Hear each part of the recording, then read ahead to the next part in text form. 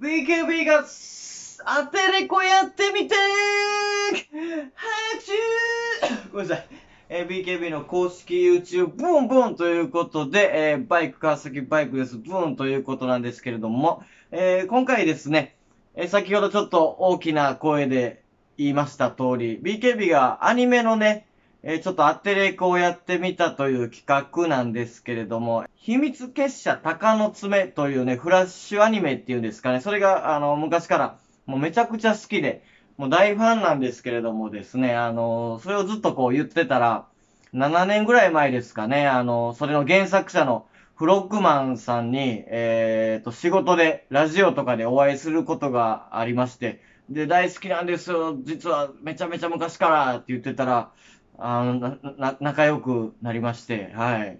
別のお仕事でお付き合いさせてもらったり、たまにね、フロックマンさんの家のホームパーティーなんかにもね、行かせてもらうような夢のような、えー仲にはなれたんですけれども、今回ね、その、鷹の爪というアニメの新シリーズが11年ぶりに、えー10月頭ぐらいからね、始まりました。拍手ということで。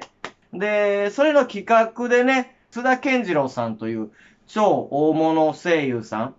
も新シリーズの鷹の爪に出てるんですけど、その方に、えー、フロッグマンさんみたいに、えー津田健次郎さんが一人で鷹の爪のアニメを当てれこしてみた、みたいな企画が、えー一個ありまして、えーそれがこう結構反応があったらしく、フロッグマンさんがね、BKB もほら、大ファンなんだったら、これ、やってみたら？みたいな。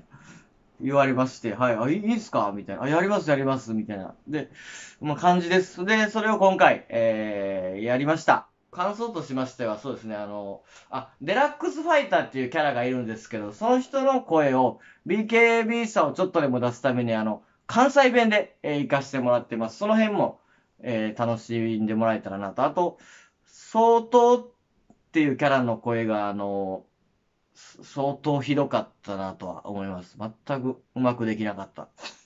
うん、まあ、今のコメントも相当ひどかったです。はい。気軽に、えー BKB が何人ものキャラで、なんか当てれこしてる様を、えー楽しんでくれたらなと、えー僕の声をぶつけました。BKB で、ヒーやってごめん。見てください。レッツゴー。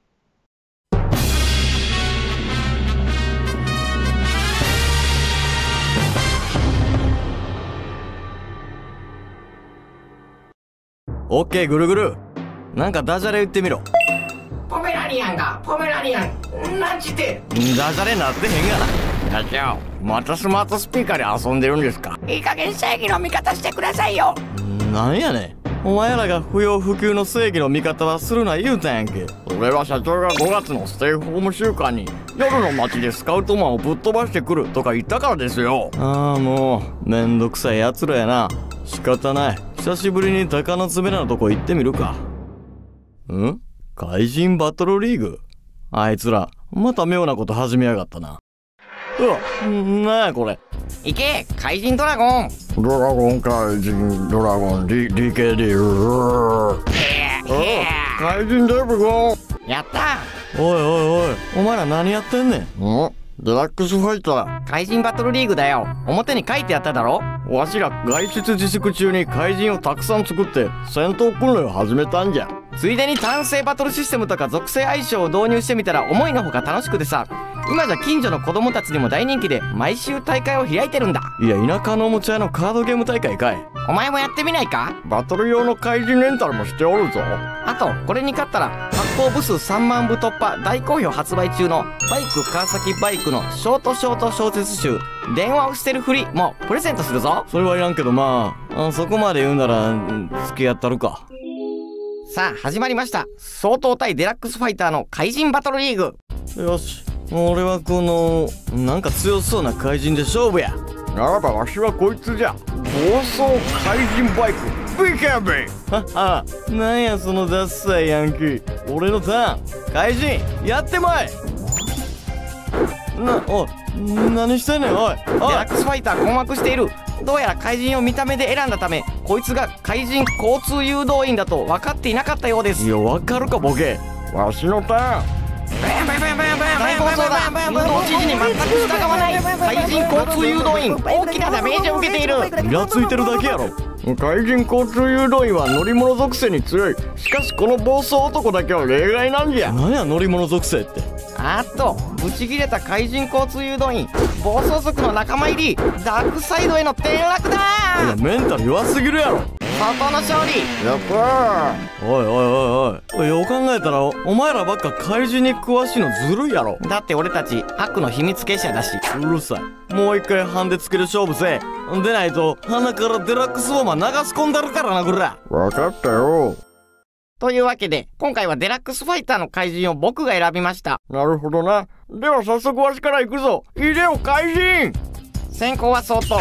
一見何の変哲もないデリバリー配達員に見える怪人です。行くぞ怪人。対するデラックスファイターが繰り出したのは赤ちゃん怪人バブルだ。赤ちゃんの前では誰でもメロメロ。ないしオロオロ。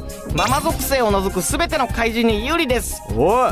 おう配達員。熱々のピザを取り出した。これは魅力的。しかし赤ちゃんはまだピザを食べられる年齢ではありません。う。ん赤ちゃんが泣いてしまった。配達員動揺を隠せない。よっしゃいやまだじゃ。おっとこれはどういうことだ？赤ちゃんを手慣れた様子であやしている。なんやと。この怪人はただの配達員にあらず配達員とベビーシッターを合体させた怪人ウバイーツなんじゃよ。そんなんありなそうこうしている間に赤ちゃん怪人眠ってしまった。またしても相当の勝利。おーい。しょうもな？あーあしょうもなこれ。しょしょうもな？おい。おいだいたい属性が分かりづらすぎるやろおい炎とか水とかそういうのやろ普通こいつとうとうルールにイチャモンつき始めましたよ。うるさいなおい。おもう一回やらせこれ。おデラボすんぞおい。おい。めんどくさいやつじゃなというわけで泣きの3回戦。ご要望通り炎と水の怪人で勝負です。うんこれこれ。こういうのやったんや。ああ。よーし。やってまい。水怪人。あすいません。今何時ですか？おっと。いきなりバトルに水を差す発言。いや水属性ってそういうことなん？戦いのことだけ考えろ。気合が足りないから集中できんのだ。こっちは暑苦しいです。炎怪人だからね。なんやねんこいつら。いや僕早く帰らないと。なんだと？気合が足り気合とかじゃなくて。気合だ気合だ水怪人押されてます。何を言っても焼け石に水です。うまないねはいもしもし。え？破水した？病院に？なんや？どうした？これは大変だ。奥さんが産気づいて緊急搬送されたようです。まさに寝耳に水。おいマジかいなぜそれを言わなかった。水臭いやつめ。うん早く病院に行け。ででもどうやって？あ暴走怪人バイク BKB 病院まで乗せてこれるんか。怪人交通誘導員も。これで渋滞も食わないな。外人ウバイいつもエールを送っている。生まれた子供は任せろって顔おいさあ行け。みんなありがとう。元気な赤ちゃんが生まれるといいですね。そうじゃな。ん？おいおいおい。おいそれでお怪人バトルリーグはどうすんねんおい。あ？そんなこと気にしとる場合かね。そうだぞ。水怪人に免じて水に流せよ。うまないねんボンバー